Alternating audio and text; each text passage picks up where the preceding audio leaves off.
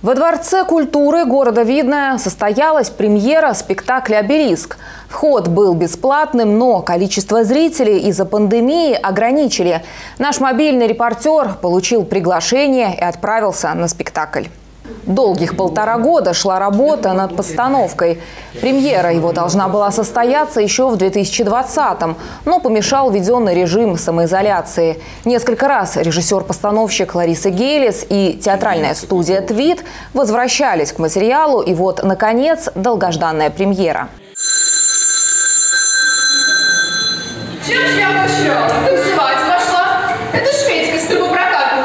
Бандит. В центре спектакля события, которые происходят с группой школьников 16-17 лет в начале 70-х годов прошлого столетия. Главным героем является подросток Роман.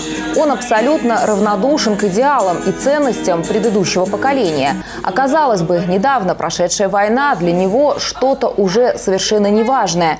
Спектакль насыщен событиями, в ходе которых главный герой должен понять, какие они истинные человеческие ценности, насколько сложно даже в мирное время совершить, пусть и небольшой, но подвиг.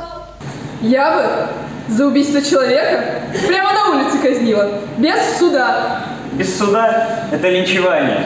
Не в Америке живем. Значит, закон такой жестокий должен быть, чтобы даже пьяный о нем помнил. Чтобы боялся своим ножом замахнуться.